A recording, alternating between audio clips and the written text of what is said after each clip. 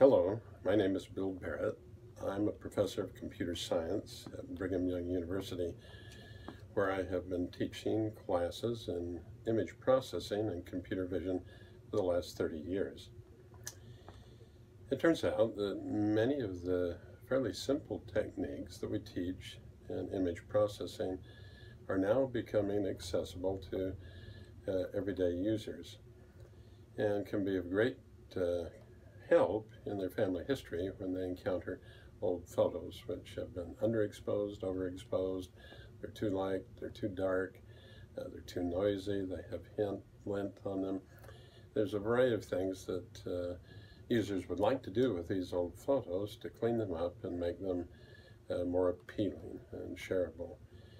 And so the purpose of this class in image processing and restoration would be to show some fairly simple techniques that uh, anybody can use to restore old documents and old photos. Uh, for example, let's look at a few uh, of those such photos. Uh, here's a well-known picture of Abraham Lincoln. And uh, in some cases, we might like to colorize an old photo. Uh, that can be done using some fairly simple techniques and using software that is free, public domain. Often we encounter documents that are maybe too dark, underexposed, but using some fairly standard and simple techniques, those can easily be rendered uh, quite readable.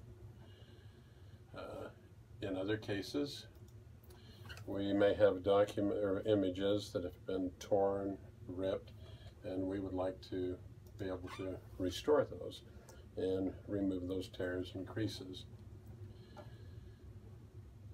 And we may even have very noisy old photos with uh, lots of uh, speckles and scratches and so forth, which we might want to render in a more useful fashion. Uh, these are some of the many techniques that this class would show to users so that they could uh, enhance and restore old photos for their family history.